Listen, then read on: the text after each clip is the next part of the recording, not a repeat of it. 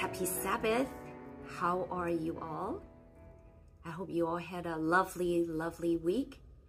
And tonight I ask our Lord to continue to bless each one of us with his love, peace, and joy. Now we are proceeding forward to Genesis chapter 19. This is a very interesting chapter because I frequently have questioned about some of the things that is described here. So hopefully tonight we get a better understanding of it. Let me start reading from verse 1. The two angels came to Sodom in the evening, and Lot was sitting in the gate of Sodom. When Lot saw them, he rose to meet them and bowed himself with his face to the earth and said, My lords, please turn aside to your servant's house and spend the night and wash your feet. Then you may rise up early and go on your way. They said, No, we will spend the night in the town square. But he pressed them strongly. So they turned aside to him and entered his house, and he made them a feast and baked unleavened bread, and they ate. Do you remember the last chapter? We talk about Abraham had three visitors. And then they discovered that two of them were angel and one was the Lord. And so besides promising him a son the next year, he also revealed about the coming destruction of Sodom and Gomorrah. Then Abraham started pleading with the Lord. If there were 50, would you still destroy the cities?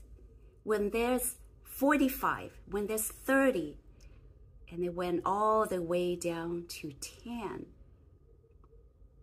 Apparently, there weren't even 10 righteous people living in those cities. And so, in response to Abraham's pleading or praying for the righteous, the two angels came to the city of Sodom to rescue Lot. Sodom was a beautiful city which was in the plain that described as the garden of the Lord. Here, vegetation flourished, palm trees, olive trees, vines, and flower galore rich harvests every year, and flocks and herds cover the hills. Art and commerce enrich the city. They lack nothing, seemingly. So the angels met Lot at the gate. Do you know that in the ancient Near East, the gate of the city is an important place? At the gate, formal activities took place, like public decisions were made there, Cases were heard, even businesses were transacted there. And you can see visitors being processed or registered according to the protocol of the city. And Lot's presence in the gate was undoubtedly related to some of these activities. And I'm quite sure that Lot was not alone at the city gate, but surprisingly, he was the only one who interacted with the angel messengers and invited them to his home. Lot, just like Abraham, practiced hospitality according to the culture of the time. He washed their feet, baked them bread, and made them a feast. Let's read on. Verse 4. But before they lay down, the man of the city the men of Sodom, both young and old, all the people to the last man, surrounded the house. And they called to Lot, Where are the men who came to you tonight? Bring them out to us, that we may know them. Lot went out to the man at the entrance, shut the door after him, and said, I beg you, my brothers, do not act so wickedly. Behold, I have two daughters who have not known any man. Let me bring them out to you, and do to them as you please. only do nothing to these men, for they have come under the shelter of my roof.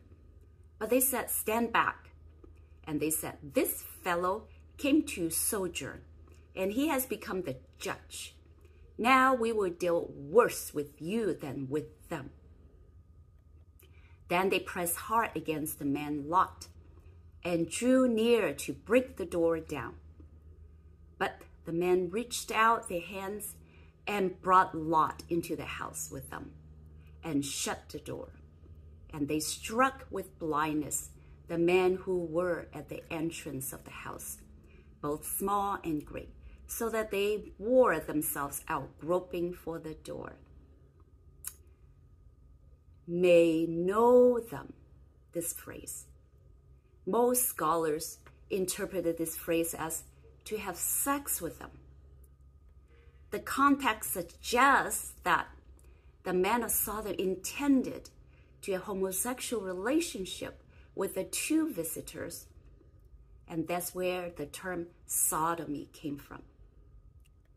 But then, lately, I also discovered that there were some advanced Hebrew alternate interpretation. And this word know they interpreted as interrogate. So they wanted to interrogate the men, the angels. Why? Because they distrust Lot's ability to protect the city from spies. That's what those scholars said. So then why were they being so paranoid about spies? Do you remember in chapter 14? We mentioned that there was war between Sodom and its overlord, the Elamites, right? The four kings versus five kings. And Sodom was conquered. Lot and the citizens were captured. Remember the story? Perhaps over here, they're afraid to have another war. They're afraid to have spies to come in and spy on them. Another question then why interrogation is so bad, why lots of interrogation is wicked. Well, because interrogation in the ancient world were typically not gentle, cruel. They use force. And then Lot told them not to be so wicked. And then what else did he say? And this sentence always puzzles me. He said, I have two daughters who have not known any man. Let me bring them out to you and do to them as you please. How should we interpret this? But if we are following the alternative interpretation that I had just mentioned, the word know meaning interrogation instead of sexual intercourse, if if we follow this trend of thought, Lot was probably saying, I would as soon have you violate my family members than to those whom I have taken in and offer hospitality. It would be sort of like someone saying sarcastically to a mortgage company, Why don't you just take the clothes off my children's back and the food off their plates? Such a comment is not suggesting that they will really do that. If this is the correct reading, Lot's offering of his daughters was intended to prick the conscience of the mob, hoping that if they don't consider to treat a citizen's daughter in this inhumane way, so they shouldn't treat Lot's guests that way either. But then what did they say to Lot? They said, Go away, you're just a visitor. You don't belong here. Don't be our judge. At that point, the angels intervened and dazzled their vision so they couldn't find the door. Let's read on verse 12. Then the man said to Lot, Have you anyone else here? sons in law, sons, daughters, or anyone you have in the city. Bring them out of the place, for we are about to destroy this place, because the outcry against its people has become great before the Lord, and the Lord has sent us to destroy it. So Lot went out and said to his sons in law, who were to marry his daughters, Up, get out of this place, for the Lord is about to destroy the city. But he seemed to his sons in law to be jesting. The angel told Lot why they were there. We will destroy this place because God had heard the cries of suffering from these cities. And the Lord has sent us here to destroy it. The stranger whom Lot had been protecting from the mob now promised to protect him and to save also all the members of his family to flee from this wicked city. Well, the mob had tired themselves out at this point and they left. So Lot went out to warn his children. He repeated the words of the angels Get up, get out of here, get out of this place because God will destroy the city. But they didn't believe him. They thought he was just a superstitious old man and fearful of his God. His daughters were influenced by their husbands, and they were very comfortable where they were. They couldn't perceive any danger. Everything was just as it happened.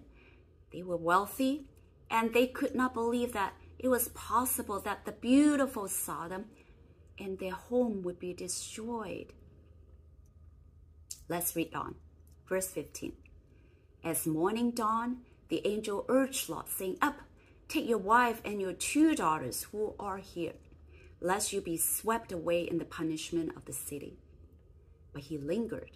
So the man seized him and his wife and his two daughters by the hand, the Lord being merciful to him. And they brought him out and set him outside the city. So when the morning came, Lot was still dawdling. So the angel just held his hand, also his wife and his two daughters. And the two angels brought them outside the city. And so the family was saved as a unit here the angels left them and turned back to Sodom to finish their work. And so it was true that in all the cities of the plain, even 10 righteous person they couldn't find. And God answered Abraham's prayer. He saved the one man who feared God. And so Lot was snatched from destruction. Let's read on verse 17.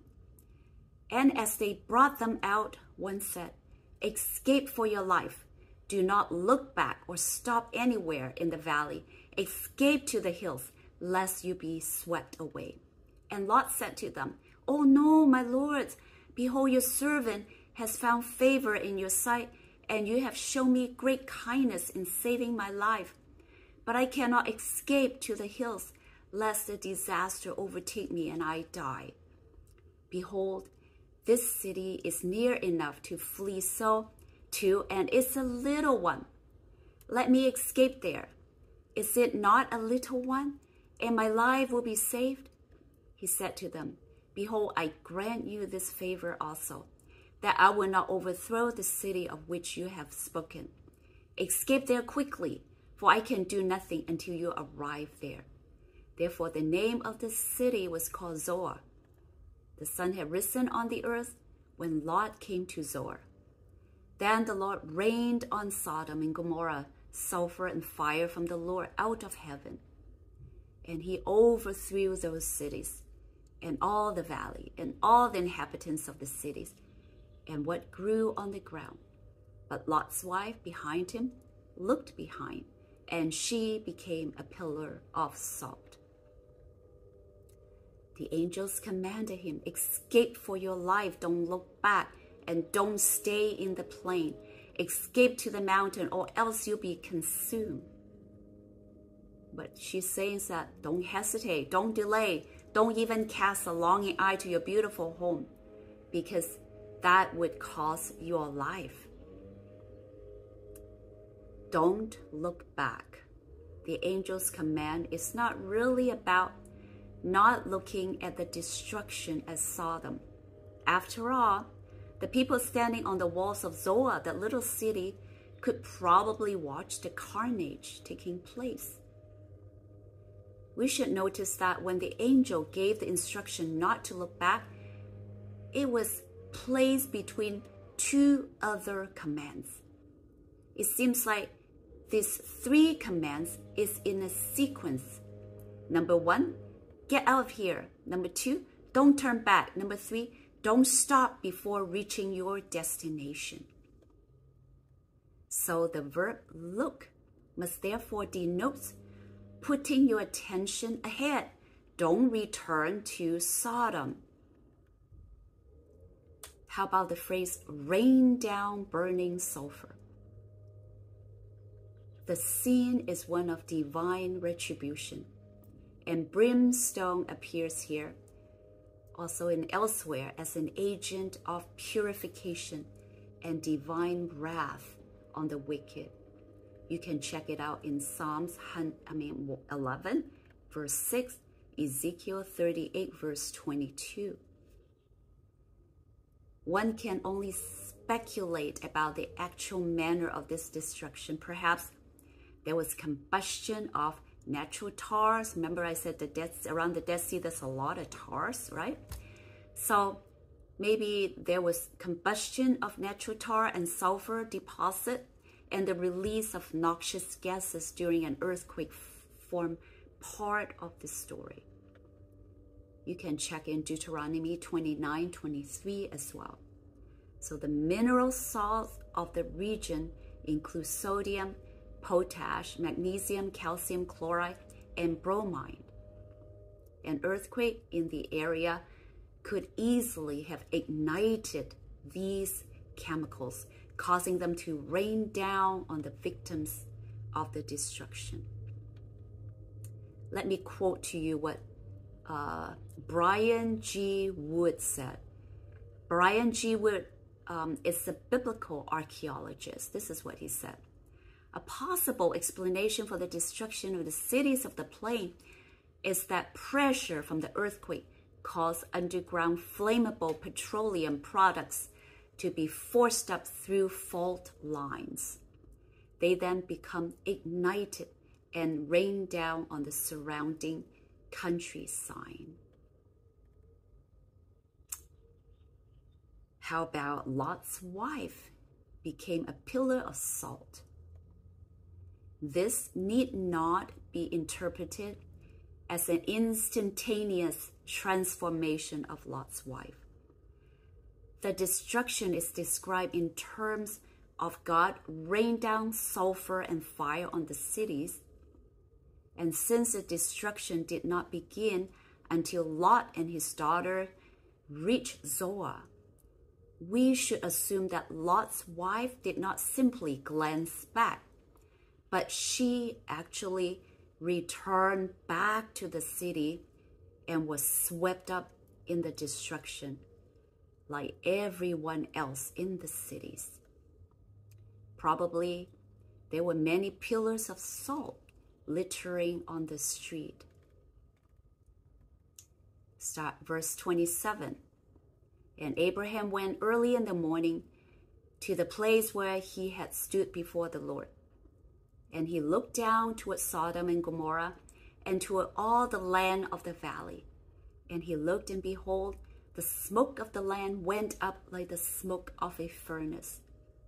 So it was that when God destroyed the cities of the valley, God remembered Abraham and sent Lot out of the midst of the overthrow when he overthrew the cities in which Lot had lived.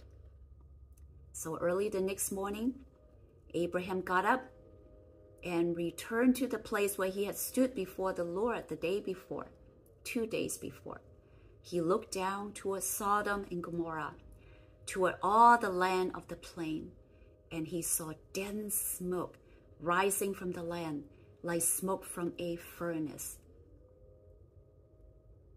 You know, the previous evening, as the fate of these cities hung in the balance, the conversation between Abraham and God had begun a plea from the heart of the future patriarch? Will you sweep away the righteous with the wicked? But this morning, the time for intercession is past, and evidence of destruction rises in the air before him. Thick smoke, like smoke from a furnace, fills the distant sky over the plains. And in this moment, Abraham knows with a sorrowful certainty not even 10 people could be found in the surrounding plains who worshiped the Lord God. So, in summary, what can we see in regard to God's character here? The story of Sodom and Gomorrah continues to reach through time as a warning to mankind. God is full of love and compassion, but He is also holy and just. The creator and sustainer of all things cannot have anything to do with sin and ungodliness, and rebellion against the Most High will not be allowed to continue infinitely. Did God give opportunities of repentance for the citizens of Sodom and Gomorrah? Yes. According to the book Patriarchs and Prophets, God allowed the rays of lights to shine for a time to the residents of Sodom and Gomorrah. You see, when Abraham rescued the captives from the Elamites, the kings, his bravery, his magnanimous and noble action. Remember, he fought off the enemies, saved the captives, but he did not take any spoil. All this action drew attention to God, the God that Abraham worshipped the people in Sodom and Gomorrah could contrast Abraham's unselfish spirit versus their own self centered way of life. No one could deny that Abraham's religion was superior and Abraham's God was the true God. They had the opportunity to seek the God of Abraham. But sadly, they rejected the light because they loved the self-indulged way of life. So why God had to destroy the city? That's an extreme measure, isn't it? We've read in the Bible that God is a God of love and compassion. So why did he want to destroy everyone except Lot and his family in the city? Have you heard of the term justice needs to be served? I read a case about a celebrity using his fame and popularity to assault women, assault them sexually. And ultimately, he was brought to court to face trial.